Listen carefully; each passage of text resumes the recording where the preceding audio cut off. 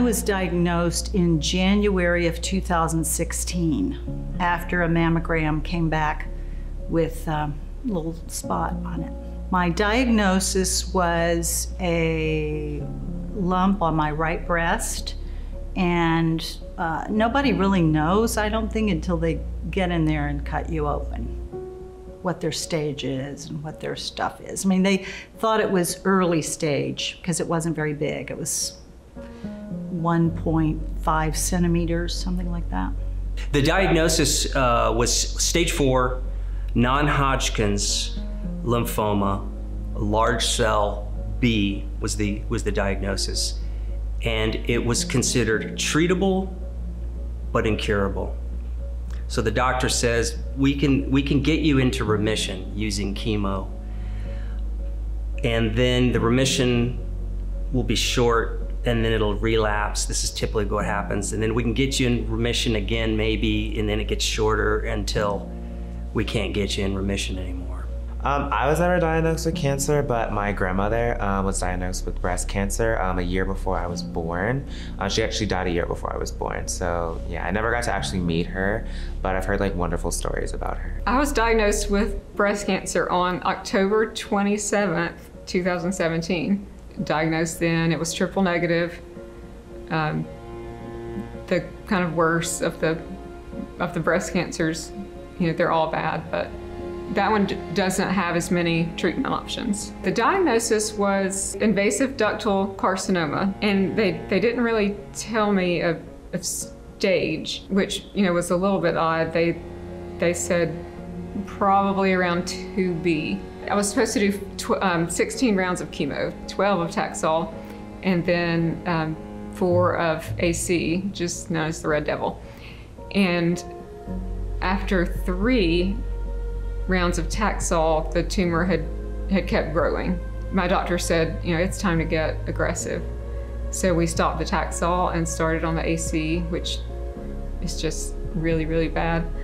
And um, it it did respond to that. I was diagnosed with uh, stage three cancer some in six years back. The world came down. You know, you realize, or it strikes me, or it slaps on your face to say, now you need to change your.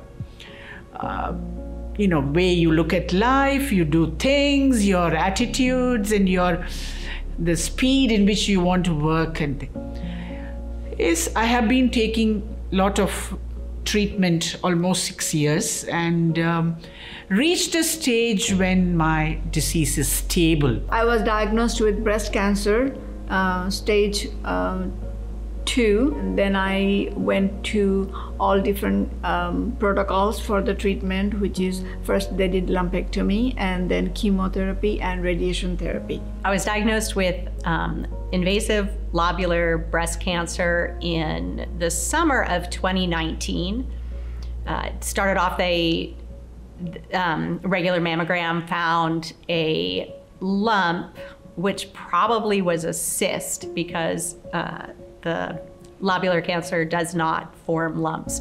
So when they biopsied it, they actually found precancer cells, and then through an MRI and additional biopsies, they found the lobular cancer. Um, I there were three spots of precancer, so um, in one breast, and so I opted for a double mastectomy. Um, they thought that I would not need radiation and definitely would not need chemo. So I was very happy because that meant I would not lose my hair.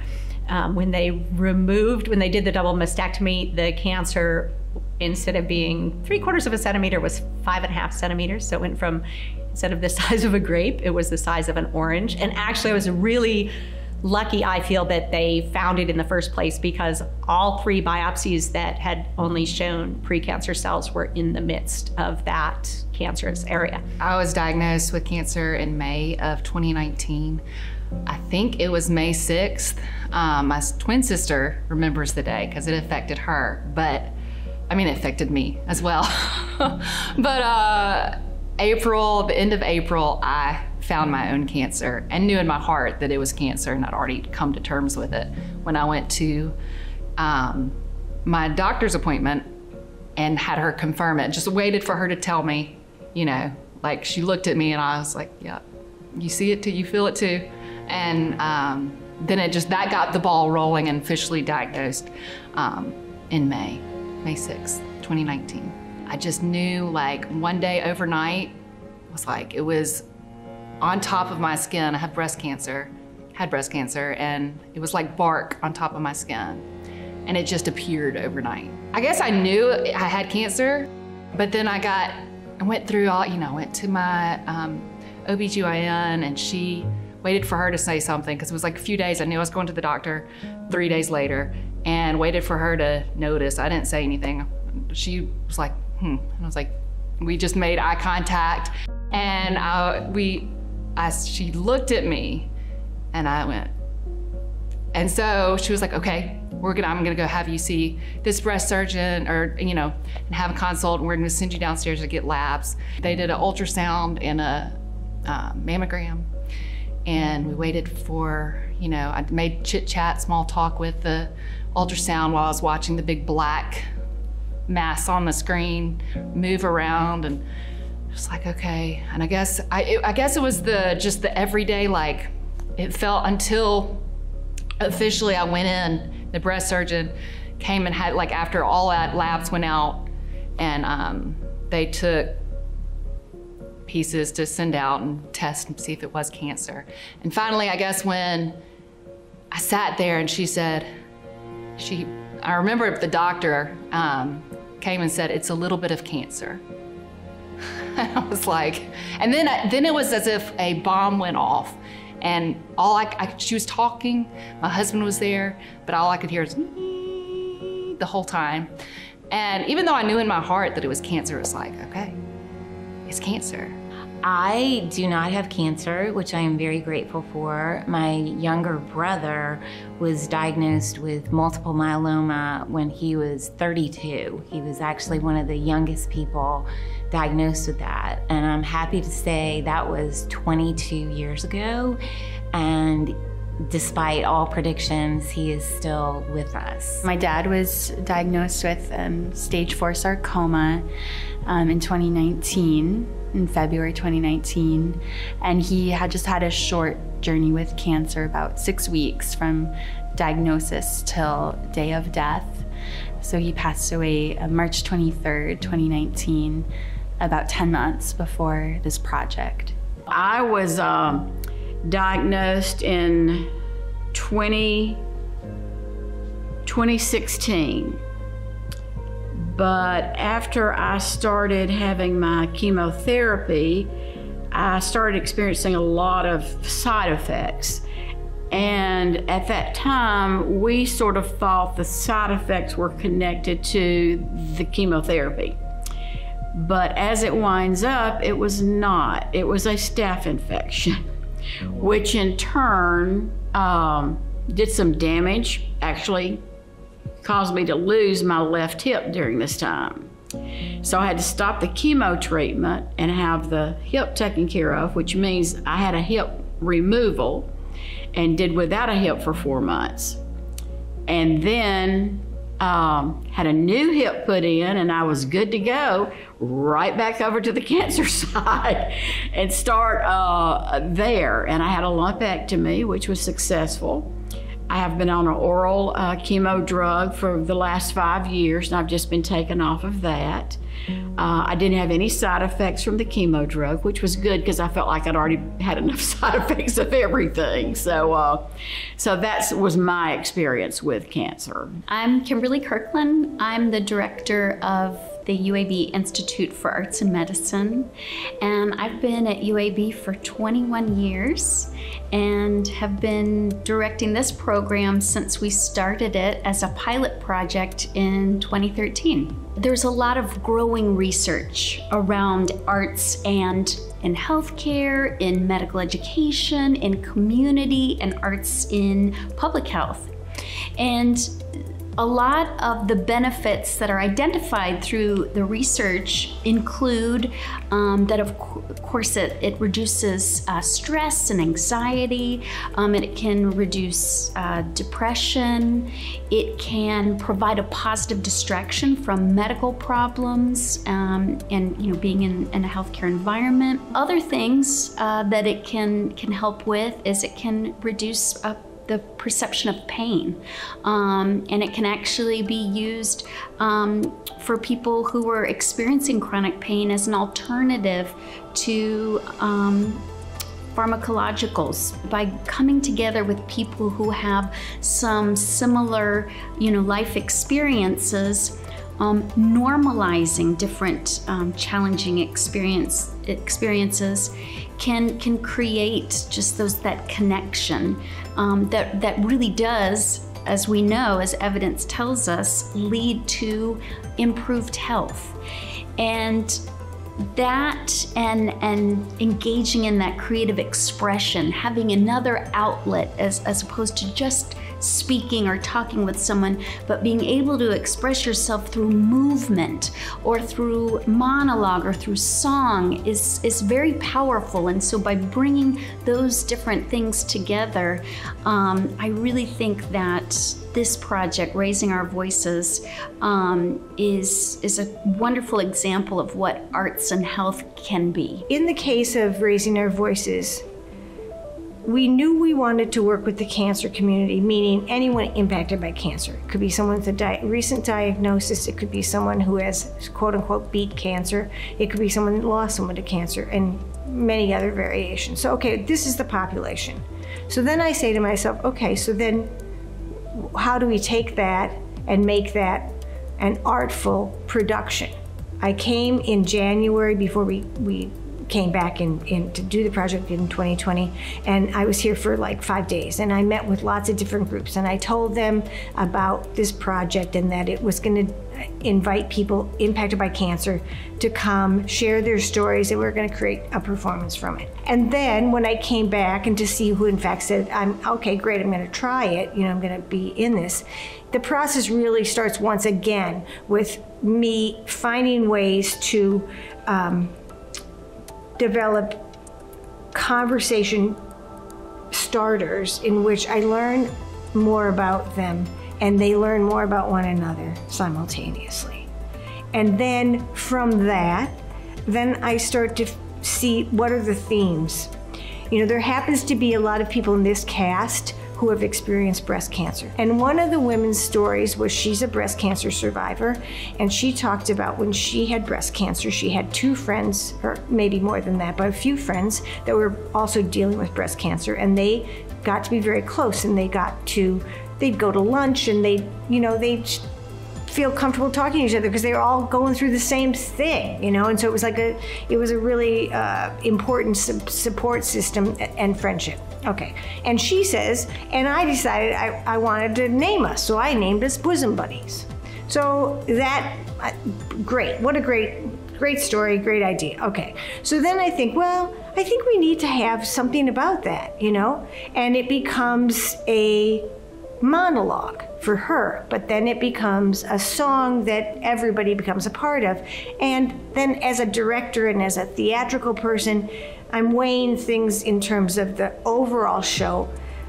Things that are more poignant, perhaps a little bit have more weight in terms of a dark color, and then things that are not less important but might need to be lighter. And so in the case of Bosom Buddies, it's a kind of a light song not a light subject, but just a you know a different way of of addressing the material. So from her came that story, came that commonality with a lot of people in the cast, came the monologue I wrote for her, and came the song. So that's an instance of how how does the person's story become part of the so-called show. The thing about the community work I do, and, and I'll say this anytime, here and anywhere, it's the same thing I do with children. I don't do something less because these people aren't professional performers. My bar will never be lowered. I mean, I'm not interested in producing that kind of work. I'm not interested in having an audience watch it. I, I, it has to be as excellent as it is with trained professionals. So I demand a lot of these people, and my experience is the more you expect from people, the more they match it. You know, I can work with fifth graders who've never done a thing, and as soon as I say, you know what, all 100, 100 of you are going to do this thing, and you're going to do it well, and you're not going to talk backstage, and you're going to remember your line, and, and Tom, you're going to remember to run across with Abby, and you know what, they do it. But it's about setting an expectation, um, and because they're invested, you know, because it's it's it's their show, it's about them. So I always you know, in the case of these monologues, these are people who've never spoken on stage. They, I mean, they probably have never even been on stage, you know, any of them. I mean, with ex- a few exceptions. But you know what? They're all doing the thing. And then, often what happens in these instances is people see this thing and they go, Are you telling me she's not really an actress? This was my first experience.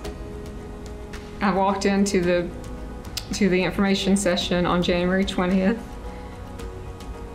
with zero, zero experience. And that's what's been great about this is that for people like me with no background, I think actually I'm the only one, but they've been so kind and um, kind of forgiving with with that and knowing yeah, my limitations, which has been good both ways because it's pushed me to do harder and to try harder and while bonding with this group, you know, of other cancer survivors and dancers, and just to become this kind of organic group that that has come up with this beautiful, beautiful production.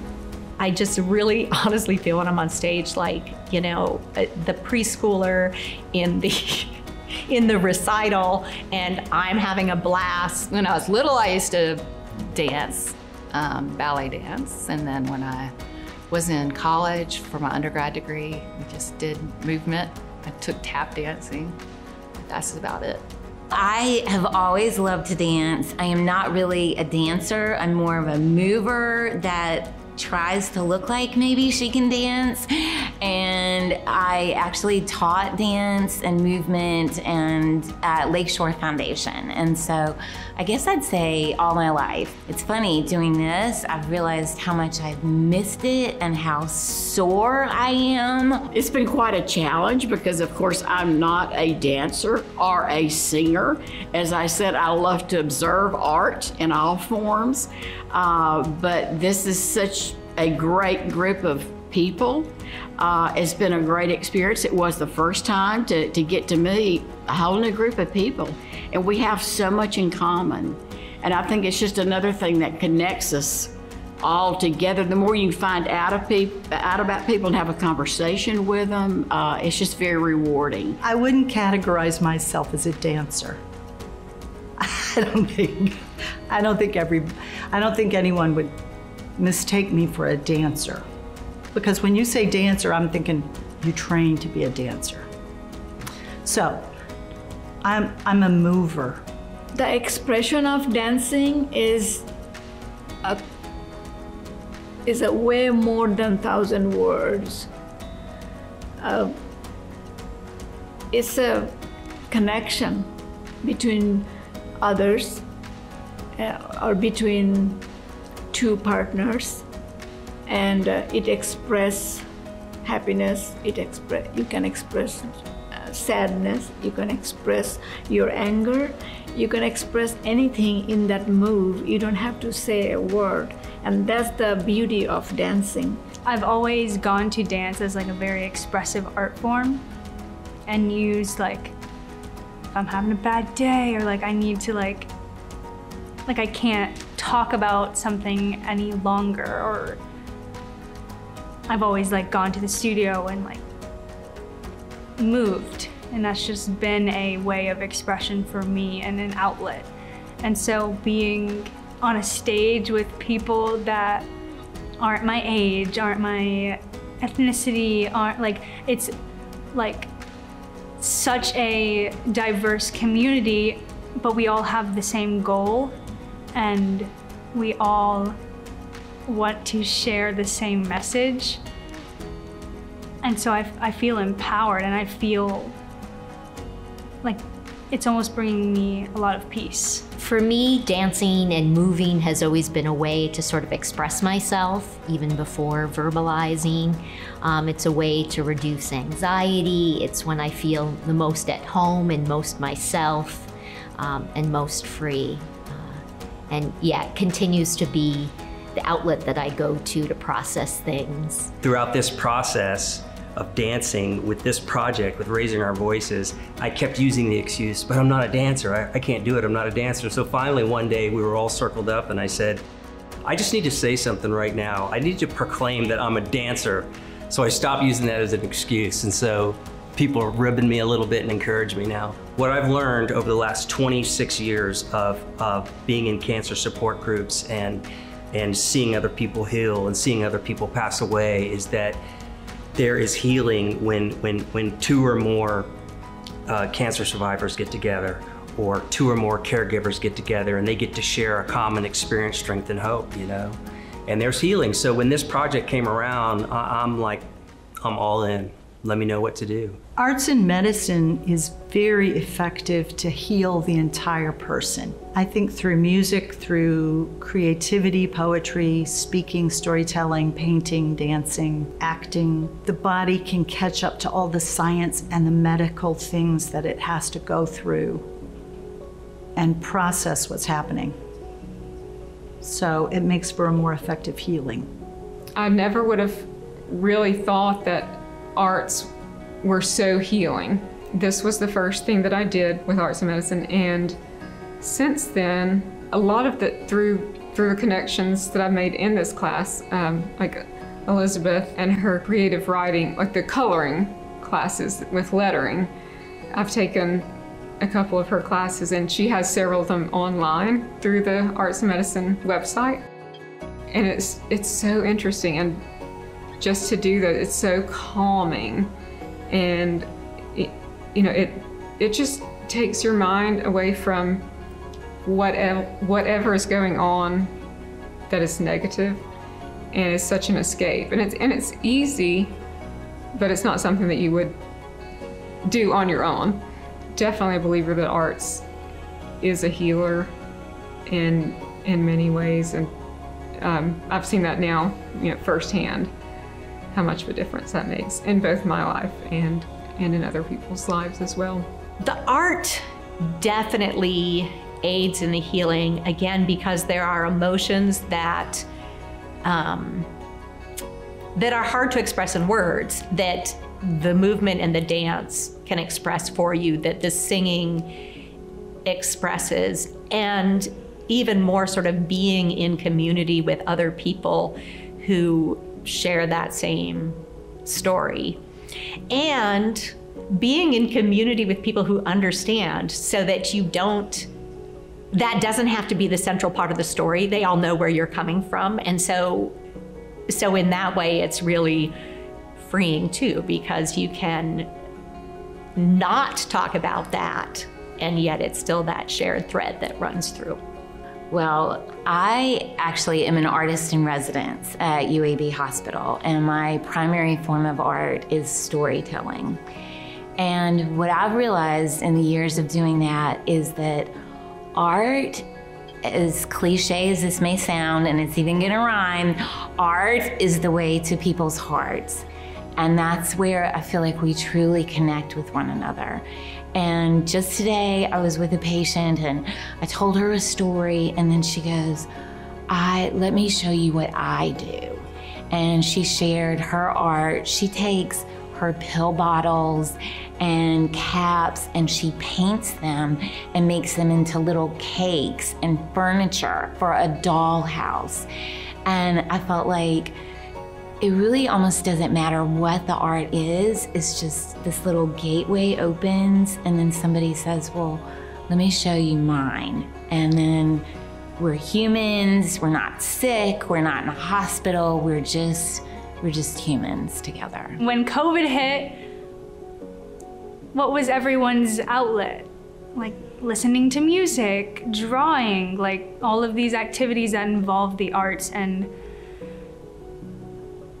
I think it's a very beautiful way to heal creating something like creating something from your hurt or even your happiness just or your loss or just anything. I think that it's very healing and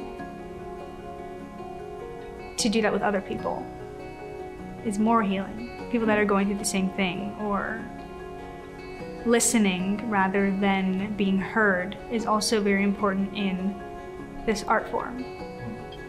So, yeah, what I can get from listening to others and watching others heal from their art that they're creating is very inspiring. Helps me heal. Well, I think they both have um, their roles. Um, and I think we're still coming to understanding what the role of art in healing is. I've been involved in the field of arts and health for almost 30 years now.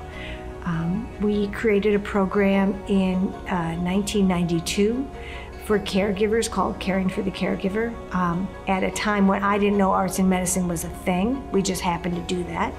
Uh, it became something that became our signature program, and we have done those workshops all over the world.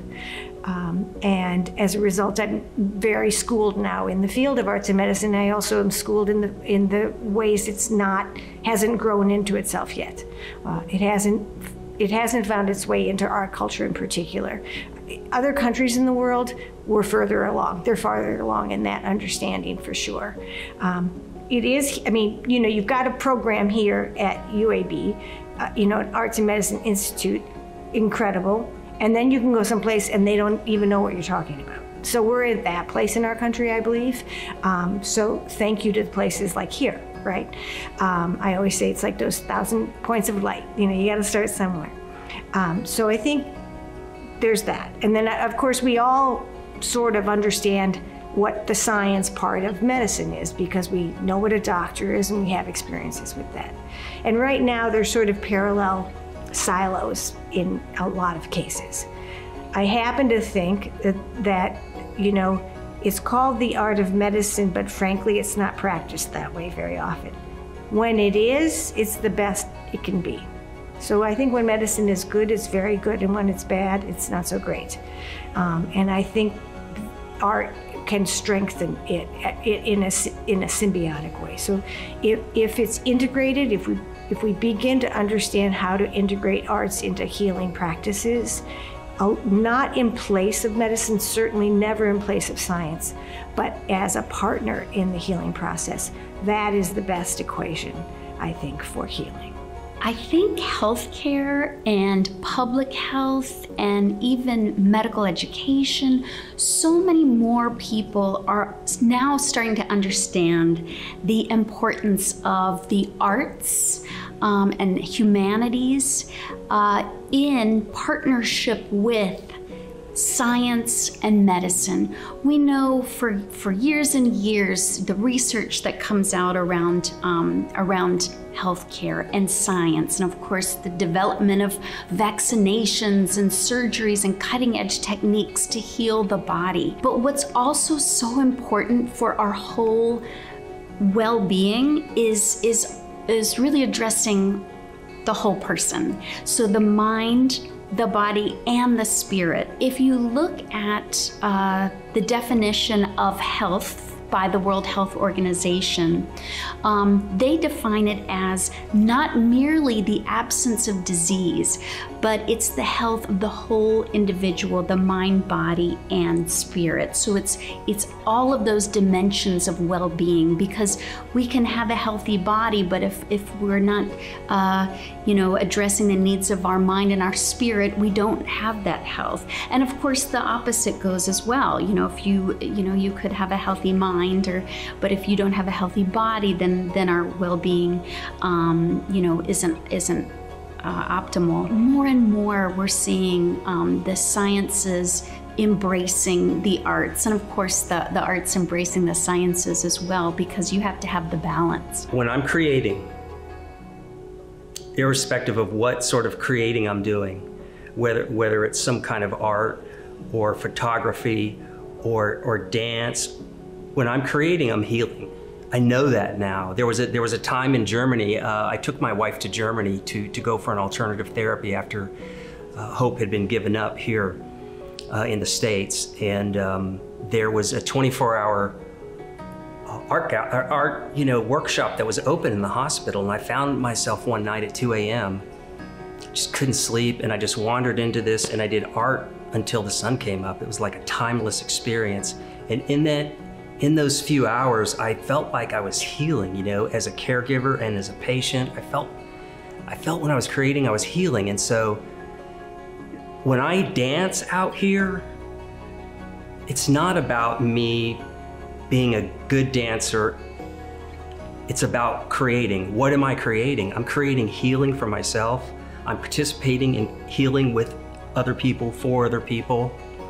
So that's the that's the exhilaration for me art heals. This experience, raising our voices, which is a lot of movement and acting and uh, speaking, it is very, uh, it's a very good closure to being cancer free, which I am. It it's allowed me to meet a whole new group of people that I didn't know before and hear their stories and their struggles and to really celebrate who we are as people. We aren't defined by our diseases, but we certainly have been through them, and everybody has a different path. It's meant a lot to me, honestly, because it's like I have a part of my grandmother with me. You know, like I feel like she drew me to this, and like I've never met her, but I feel like I get to tell her story through my movement. This experience has meant, it's meant the world it's meant the world to me. Um, I've made so many new friends and just memories and, and things that I, you know, things that I never thought that I would would be able to do, such as dance and sing with a group and perform. My goodness, perform here at the Alys Stephens Center. Who gets to do that except train, you know, trained professionals? Oh, this experience is joy sharing and meeting people, which is absolutely essential to me. And the people around me, I have no words to thank them and to tell them that look, you have made my made me happy by coming together. This raising our voice program actually brings back lots of memory in my mind uh, in my personal upbringing and my childhood memories, the way to meet other people and listening their stories, listening their sufferings as well, the, uh, how they went through on their cancer stages. That experience actually, if you do not go that path, you will never know. It's the only way when a survivor can only understand other survivors. There's a no way. My, my mom, dad, they love me to death. They will never understand what I went through. But my fellow survivor will understand more. I think one of the most incredible things in participating in this process is the strength that I've seen in other people. And I'm not sure that everybody feels that strength in themselves, but we all sort of feel that strength from each other. This experience has been a blessing. I have made friends that I will keep for a lifetime. Um, it's been an opportunity for me to get back on the stage again. Um, and that that I uh, am really thankful for. It definitely has helped in a lot of ways. Cause like I can come to rehearsal and almost like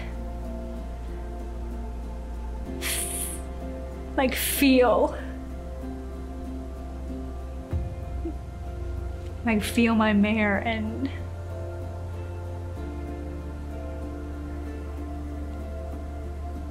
and also it's helping me like like not to like be like my problems don't matter, but like that's how I feel like there's so many people going through so many things and it's like my problems are this big.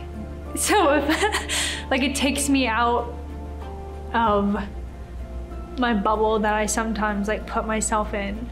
But just gaining that insight was very and still is very important. And to have like I don't know, I feel like some of these people are like grandma figures to me. And being far away from home, it's nice to have like a mom or grandma hug, like walking into rehearsal after a, long day. It has meant I've been so proud of my director is Kimberly Kirklin, and I just adore her, and I'm just so proud that she said when this all came to a crashing halt in 2019 or 20 or 3000 whenever that was we we are going to do this. And i feel like it would have been so easy to say well we thought we could but we can't and being with these people again and to see people who didn't have hair have hair and see that they're finished with their treatments and how much better they feel and how healthy they are and that they're still with us is just amazing. And I just, I love the people in the company that have come and shared their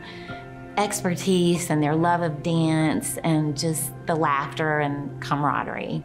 This experience it followed on the heels of losing my dad to cancer, to sarcoma, um, about a year prior when we first started working with the cast in 2020. Um, and at that point, I hadn't yet connected with other people um, who had an experience of losing someone to cancer. And for me, being part of this performance, it reflected exactly what I was experiencing in my life, which was that there were deep lows to the, the grief of losing someone to cancer, and that there was also this deeper connection that had opened up in me. Um, having gone through my first really significant loss, um, I started to have heightened emotions and um, and to feel connected to other people and, and to their own stories of loss in ways that I hadn't been able to empathize with before. So, being part of the project just shortly after that experience, um, it helped me to find not a, a reason for losing my dad to cancer, but some degree of meaning because now there was connection with other people who could understand some of what I had been through. This experience has been just a wonderful um, reminder of the power of the arts, the power of community, the power of movement, the power of dance. Um, again, this is the first project I've taken part in um, since COVID began. Um, and, and, so it's just wonderful to be reminded of how essential this is, um, both personally to myself, but also to the world. Um, and, and just to get that message out there and to share, you know, what we do and projects like um, raising our voices um, with a larger community. Um, and so excited to be able to do that. This experience has been both joyful and it has been sad. Because the truth is that cancer takes people. And oftentimes, before it takes people, it's very grueling. And there are also victories. You know, there are victories in there are victories in survival there are victories in death even and it's hard because the grief process is such uh, such a wilderness you know and everybody has their own process in the grief so there are people that are in grief right now and what this does is it brings all of that up jana my my my late wife has been gone for, for eight and a half years. And there are moments on the stage during rehearsal where I, it feels like it was last week. And there are also moments that it is exhilarating and joyful to be out there with other survivors or other people who have lost their loved ones. And I truly believe that Jan is with me on, on many different levels. And uh, I, I'm sure she would be so happy about this project. She would just be over the moon with it. For me, it used to be, how am I gonna survive this? How am I gonna survive this? How am I gonna survive this? And we're all trying to survive and we're all dying. How am I gonna live? How am I gonna live? I am what I give my attention to. What am I gonna, where am I gonna put my attention for the remainder of my life? Whether that's a few months, a few years, or decades and decades. And so I, I claim, after everything I've been through, I claim joy. You know, I'm not happy that I lost those folks. I'm not happy that I went through what I went through. And I still am a very happy person. I'm satisfied and I continue to grow. I'm not letting, I'm not letting that other part dictate where I am.